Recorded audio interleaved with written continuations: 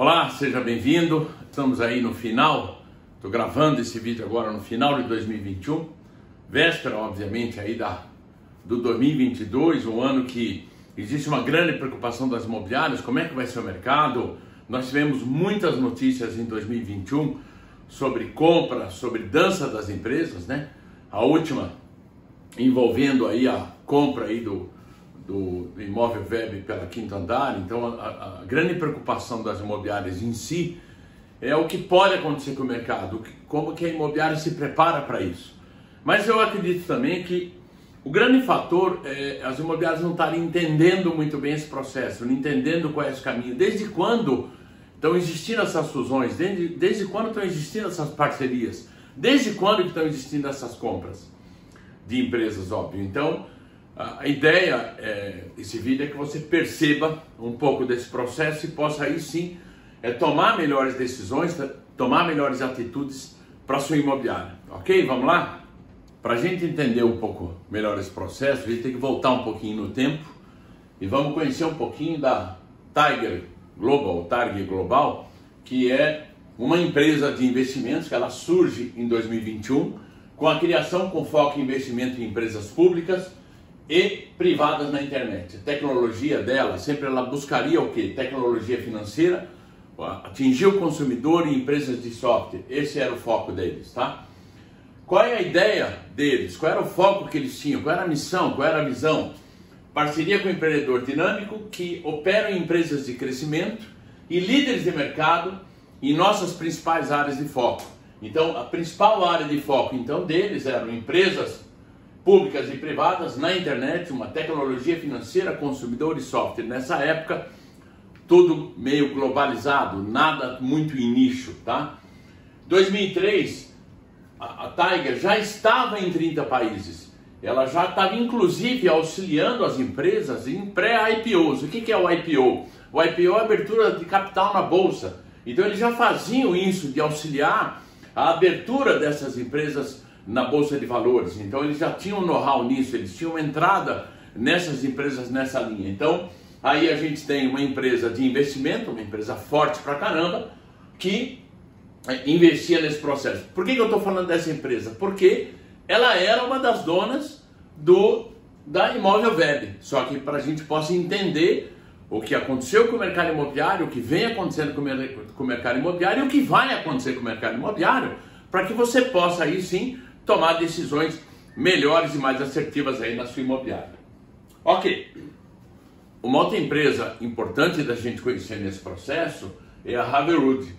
Ela é uma empresa que ela simplesmente o foco dela era parceria ou é parceria com empresas que tinham comprovado o avanço em tecnologia e o objetivo era ajudar essa empresa a crescer e tornar uma organização de classe mundial. Pode notar que as duas empresas, o foco, a missão, a visão, seja lá o que você queira pensar, elas têm a palavra parceria como, como, como foco do processo. O que, que isso quer dizer? É, por que que não, como assim parceria se ele está comprando na empresa? Que não se compra móvel, não se compra cadeira. O que se compra é o talento, se compra pessoas.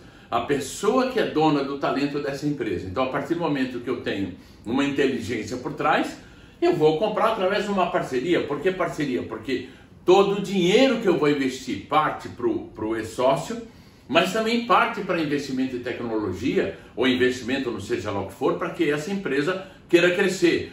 Óbvio, qual é o objetivo, o que, que ela quer chegar, onde ela quer chegar. Essa empresa nada mais é, para você ter uma base, ela era dona da 99. A 99 ela vendeu para um grupo chinês, para a gente ter uma ideia, e ela também, muitas imobiliárias conhecem a RD Station, ela era dona também da RD Station, que vendeu depois para TOTS. Então, é, é, essa empresa, ela já era dona, ela já, já era dona de grandes empresas, e já tinha um foco de investimento muito forte. Ou seja, nós não estamos lidando com gente pequena, nós estamos lidando com gente que não tem noção do que está fazendo, tá? E aí uma das empresas na qual eles também eram, eram donos é a Navent, que era um, um foco dessa, dessa empresa era uma parceria com o empreendedor dinâmico que operam empresas de líderes de mercado em nossas principais áreas de foco, que seria a principal área de foco deles, tá? Então, em 99, quem era essa empresa? Eles eram dono da Boomerang, que era, para que você possa ter uma noção, a maior empresa de tecnologia de oferta de emprego é, na, nos países no, nos países de língua espanhola. Nesse caso, se não me engano, na Argentina, inclusive, tá?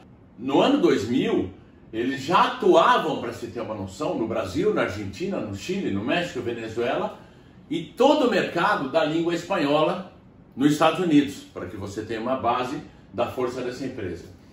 Em 2004, a Tiger, que nós falamos lá para trás, já mirava essa empresa, tá? já mirava a compra desse, desse grupo. Em 2007, ela se volta, falando ainda da Navent, ela se volta ao mercado imobiliário ah, através da Global, que além disso, a Global começa a expandir essa empresa para o Peru. Ela quer alavancar esse processo todo. Muito bem. Em 2012, eles compram o Imóveis Curitiba. Imóveis Curitiba, para você ter uma noção, eu, eu diria que foi o segundo portal de imóveis do Brasil. O primeiro portal foi, na, foi a Planeta Imóvel e o segundo portal foi em Curitiba, o Imóveis Curitiba. É, o Gutierrez era o proprietário, um gênio do mercado imobiliário e, e que vendeu para eles. Quando eles compraram o Imóveis Curitiba, nós estamos falando em 2012, para você ter uma noção, 2012 nós estamos falando lá, nós estamos em 2021, nós estamos falando em nove anos atrás. Nessa época, nessa época, eu prestava consultoria para a Polar Imóveis. A Polar Imóveis hoje é uma gigante de uma rede, considerada a maior imobiliária do Paraná hoje, tá? E eles compram também o CRM, quer dizer, o que muita gente fala do CRM nos últimos dois anos, em 2012 já se falava disso, já, já existia a compra de CRM especializado para o mercado imobiliário. Nesse momento, eles adquirem, adquirem desculpe, a Imóvel Web através da Arshot. Que, que é a Arshot?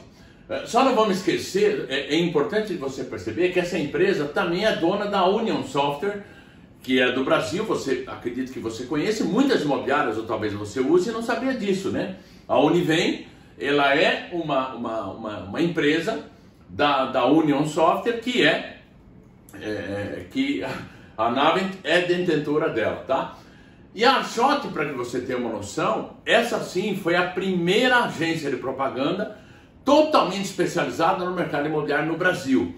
É, na minha carreira, para você ter uma noção, eu tive a oportunidade já de conquistar é, cinco top de marketing para clientes meus e conquistei um Master Imobiliário Internacional. Você tem uma noção que para mim, qualquer um sonho de qualquer publicitário é ganhar um top de marketing. Eu ganhei cinco, show de bola.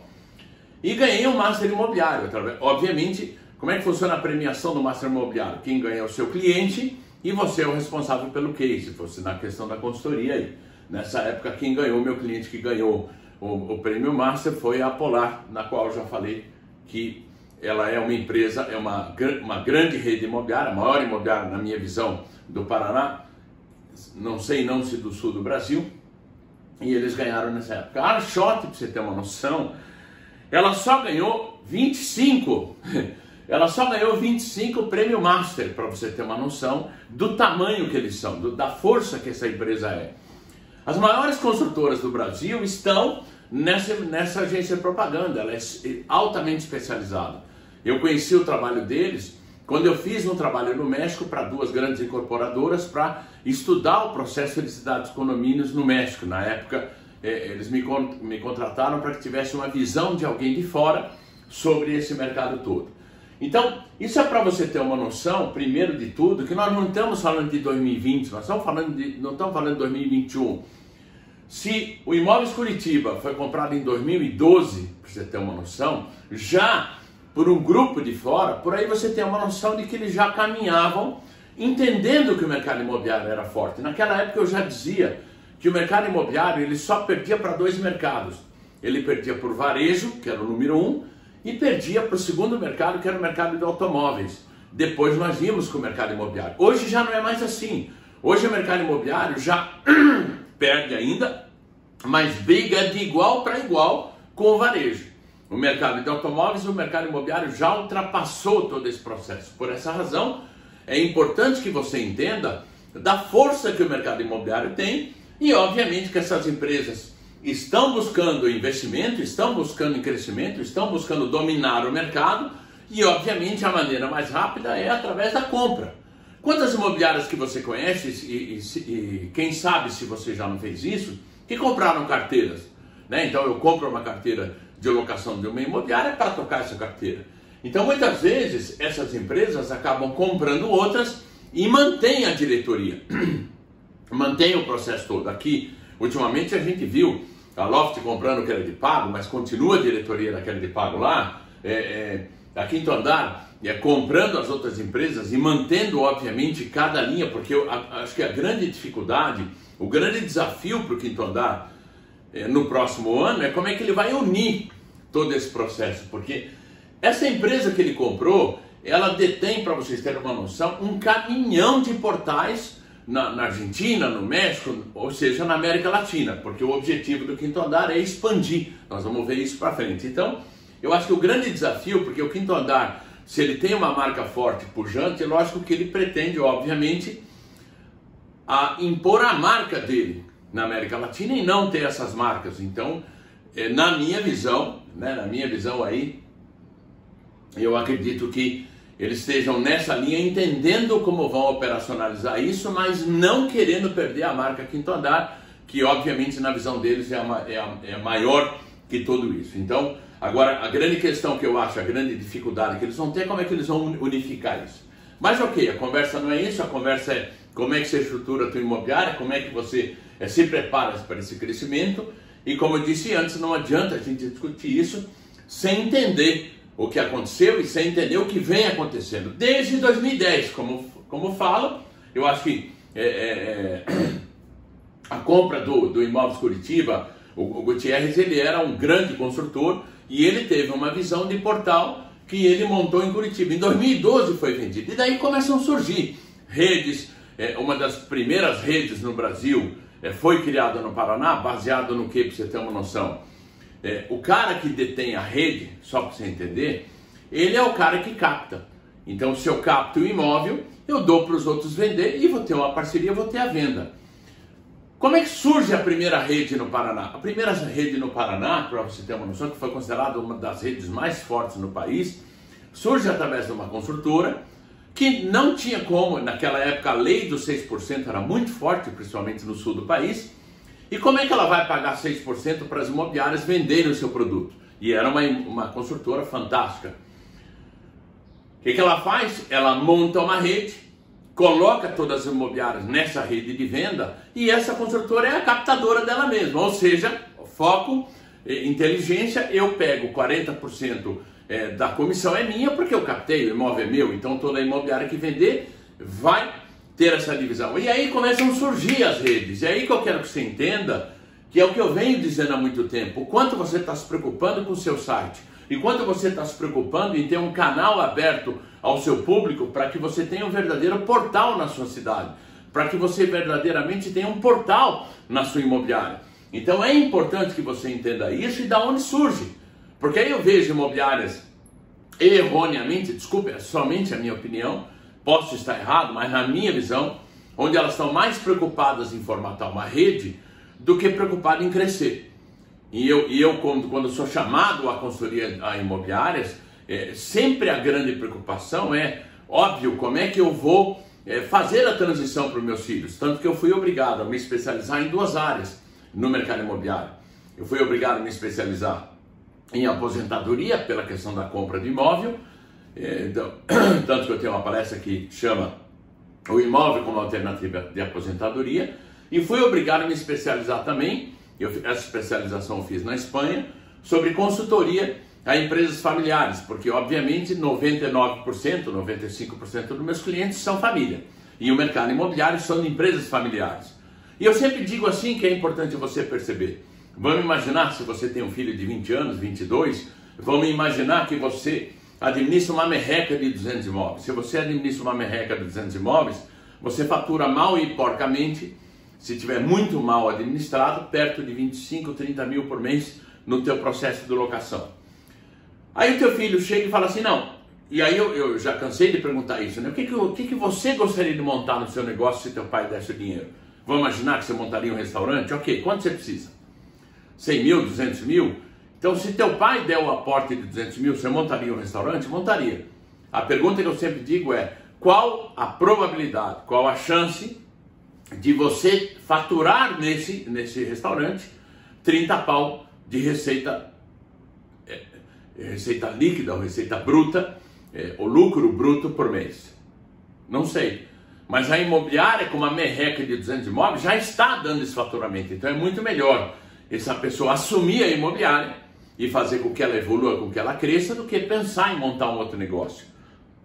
O grande fator que eu digo para você é: você tem que ter foco na sua imobiliária, você tem que ter foco no seu negócio, mas entendendo o que aconteceu para trás, né? Eu acho que, veja, tem um livro é, muito interessante é, que ele que chama-se A Terceira Onda. Nesse livro ele conta uma história é, que é a evolução do mundo desde a era da agricultura para a industrial. Como é que, como é que funcionou então? Nós tínhamos um problema que era a era, a era agricultura que comandava. Então o cara levantava às 5 horas da manhã, plantava o seu milho, seja lá o que for, voltava para casa às 8 da manhã, 9, é, tomava o seu, o seu café, ele não tinha um compromisso. Aí surge a área industrial. Qual era o grande problema da área industrial? Como é que eu vou educar esse cara que acorda a hora que ele quer, e eu preciso que ele, que ele comece a trabalhar às seis da manhã, pare meio-dia, volta às duas e sai da, da indústria às cinco. Põe o sino na escola. Então, a partir do momento que as escolas formatam o sino de entrada, recreio, saída, essa criança está preparada para trabalhar na indústria no final. Então, é, é, Alvin Toffler fala muito de que você, não, você tem que entender o porquê, você tem que entender a razão desse processo. Então, se você quer crescer a sua imobiliária, se você quer entender para onde deve ser imobiliário, você tem que entender um pouquinho do passado do mercado imobiliário para que você possa, peraí, que caminho que eu vou que eu vou chegar, que caminho que eu vou crescer. Eu quero que você entenda que eu também estou no mesmo barco. Veja, uma imobiliária que me contrata, ela não me contrata para pagar velhinho, eu sempre digo isso. Não existe uma imobiliária que fala, olha, é nosso aniversário, vamos te contratar para vir cantar parabéns. Não, é porque ela tem problema. Então, se eu não gostar do mercado imobiliário, se eu não acreditar no mercado imobiliário, como é que eu vou prestar uma consultoria numa imobiliária que queira crescer, não interessa em que lugar desse Brasil, é, sendo que já fiz trabalhos na Argentina, já fiz no México, já fiz em Portugal. O meu doutorado foi na Argentina, então eu tenho um pouco de, não muito, mas um pouco de conhecimento lá. Então, como é que eu vou estruturar essa imobiliária? Como é que eu vou fazer ela crescer? Se eu não entendo um pouco do processo do passado. Lógico, eu estar fazendo consultoria para imobiliárias há mais de 30 anos, isso me dá uma certa experiência, mas é importante que você entenda para que você tenha segurança de estruturar um crescimento maior para sua imobiliária, ok? Então, entendendo esse processo, entendendo qual é o caminho, quais são as empresas que compraram, quer dizer, você hoje tem a Univem que você não sabia que eles eram dono, e aí eu pergunto se essa Univem hoje, se ela já faz parte desse pacote, essa, então, o quinto andar passa a ser dono da, da Univem ou não? Não sei porque não divulgaram, não sei se a Univem não tem tanta força assim, ou a União Software, ou seja lá o que for, mas ela fazia parte desse pacote. E a Shot já expliquei que é uma empresa na qual também, é, na minha opinião, merece todo o respeito pelo mercado imobiliário, pelo que ela já construiu dentro do mercado imobiliário. Só você entrar no site dele, hoje, atualmente, é uma empresa que existe desde 1900 e tralalá, e atende hoje, pasme, as maiores incorporadoras desse país. Então, peraí um pouquinho.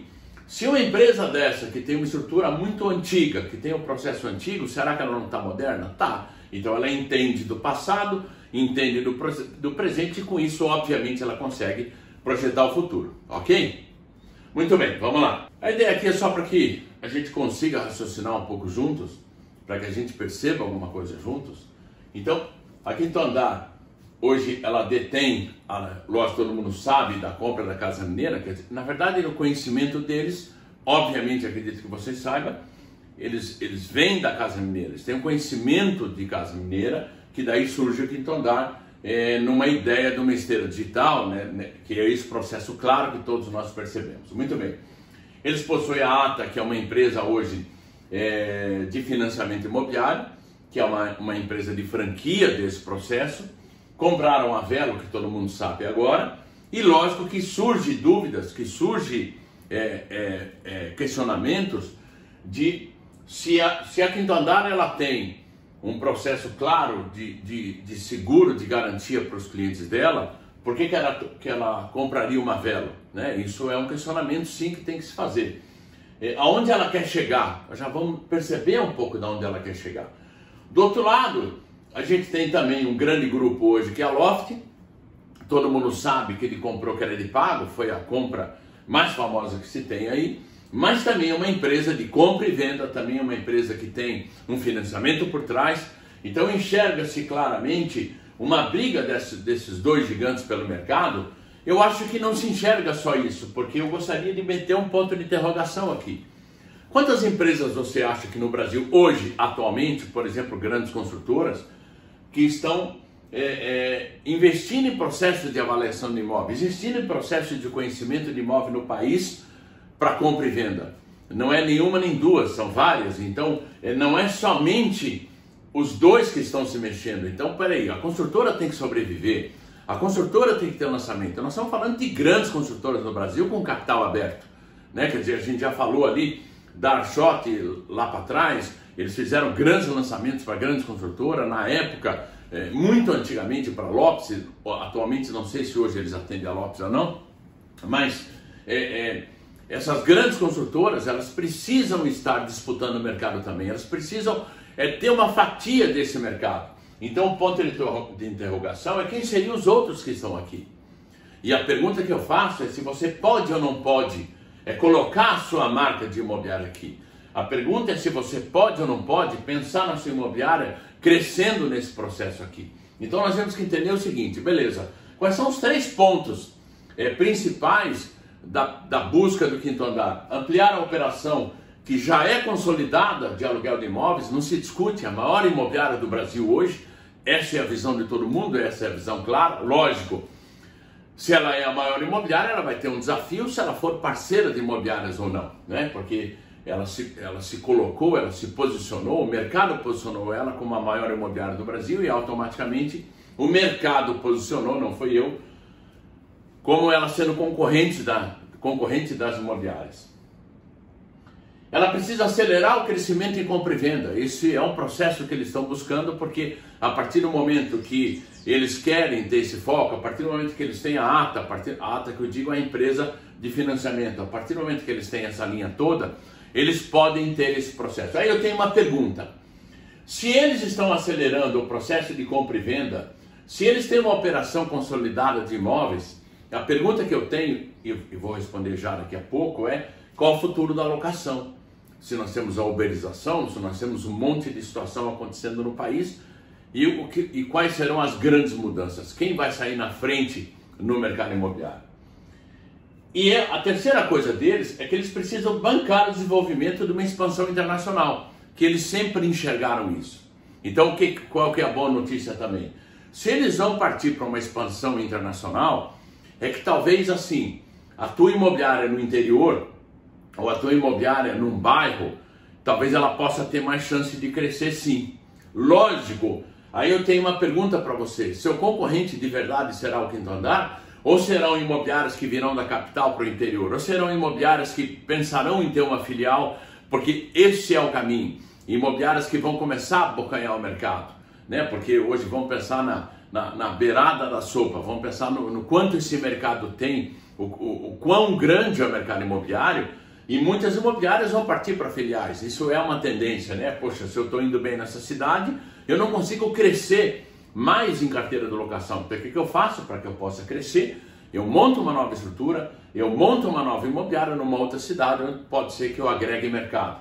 Então, é, se percebe isso. E se eles vão para uma expansão internacional, logicamente que inicialmente eles vão trabalhar grandes mercados. Também, inicialmente, na minha visão, eles têm um grande desafio de como é que eles vão unificar todas essas empresas. Se eles estão lá com X portais na, na, na, na, América Latina, na Argentina, no Peru, no Chile, todos esses processos, eles vão ter que unificar.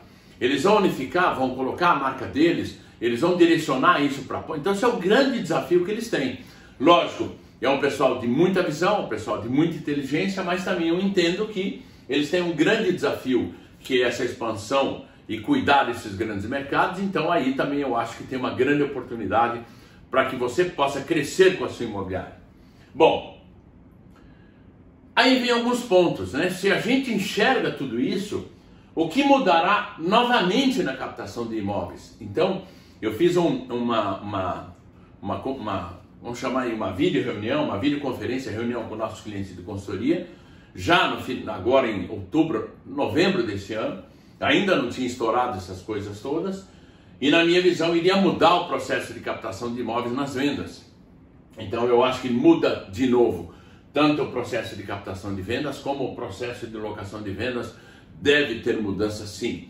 É, é, lógico, algumas coisas eu não posso dizer aqui, porque como esse vídeo ele é um vídeo aberto para o mercado, algumas coisas do que eu entendo, é, é, eu tenho que respeitar também os meus clientes de consultoria, na qual algumas coisas a gente divide com eles, alguma coisa a gente divide em aberto, óbvio, é assim que funciona e você sabe disso. Mas eu entendo que vai ter mudanças aí sim. Ó.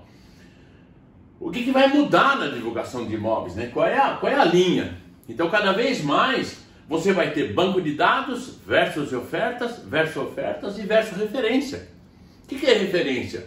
Todo cliente que, que busca um imóvel no teu site é o imóvel de referência dele que ele está procurando. Pode provar que não necessariamente ele compra esse imóvel, ele acaba comprando outro.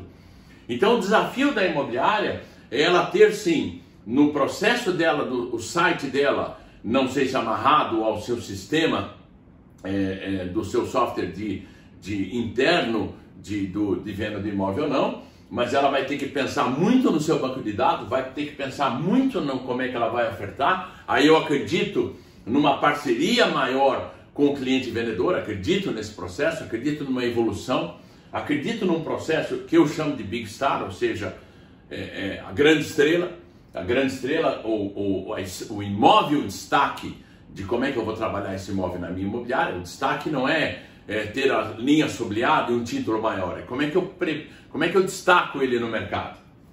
E a referência que eu já, que eu já expliquei. Será que nós vamos ter mais oportunidades para captação de locação com tudo isso? Se temos inflação, se dinheiro vale menos em relação das mudanças mundiais, o que, que eu quero dizer com isso, né? Se você for comprar hoje um, um relógio é, da Apple, é capaz de você não conseguir achar o, o mais baratinho, o, o, o, modelo mais básico.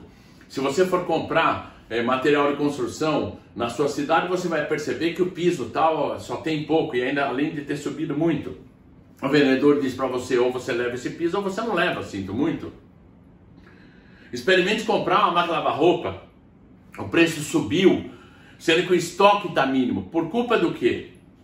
Por culpa de uma inflação que está existindo no mundo, não é só no Brasil, e a falta de materiais, que aí a gente teve também um reflexo do Covid nesse sentido.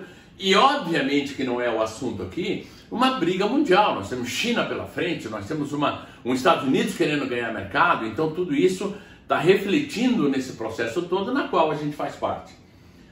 Muito bem, quem vai cuidar do patrimônio do, desse, do dono da, da, da, desse imóvel? Quanto custa para o proprietário uma manutenção? Até que ponto, como vai mudar a velocidade na, na minha percepção? Quanto, como, quanto, quanto vai ou como vai mudar a velocidade é, é, de saída do inquilino do imóvel?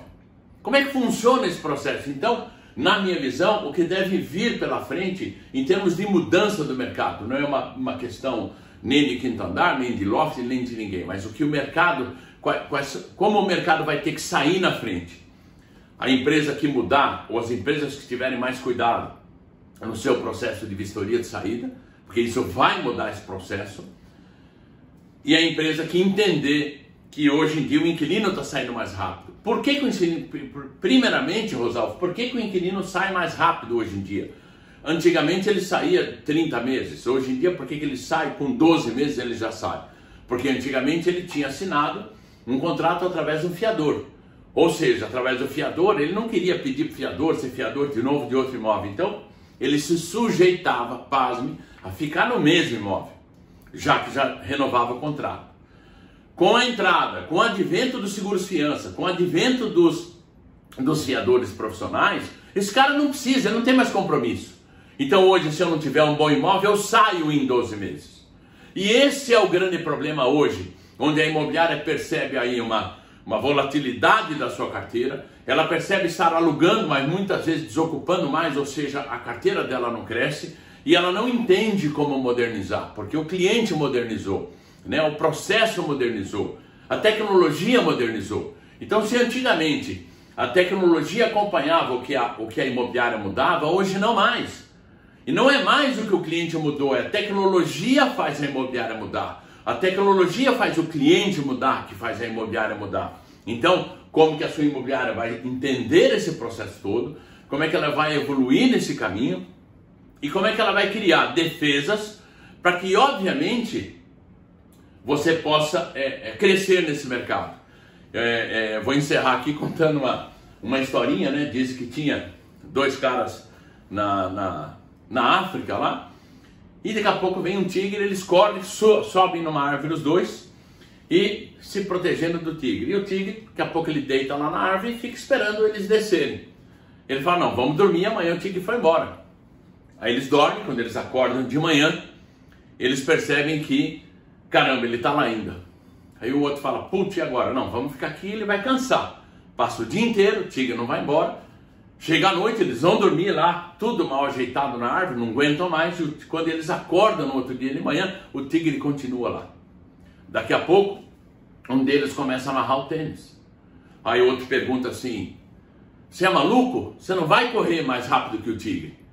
Aí nessa hora ele responde: Mas eu não preciso correr mais rápido que o tigre. Eu preciso correr mais rápido que você. Empurra o cara e sai correndo. E o fim da história a gente não sabe qual é, porque a história é essa mesmo, né? o quanto você precisa correr mais rápido que o tigre, ou o quanto você precisa correr mais rápido que o, que o concorrente. Então nós temos um 2022 pela frente, onde você vai ter que pensar assim, a estratégia da sua imobiliária, a estratégia do seu concorrente, a estratégia do mercado, para onde vai toda essa situação, para aí sim você pensar como estruturar melhor a sua imobiliária e, obviamente, vir a crescer mais sem ter medo do que vai acontecer no mercado. Ok? Eu quero é, é, mandar um super e um feliz 2022 a você, que você tenha muito sucesso, conheça um pouco mais do nosso trabalho através do meu site, conheça nossos cursos, conheça o que a gente tem feito de soluções para as imobiliárias. Nós estamos aí, eu, estou há 30 anos prestando consultoria imobiliária, e se eu estou nesse mercado e acredito nesse mercado, eu também acho que, e tenho certeza, que você pode sim confiar nesse mercado e entender que ainda tem muito crescimento para sua imobiliária. Ok? Te vejo para frente. Um abraço, felicidades, feliz 2022.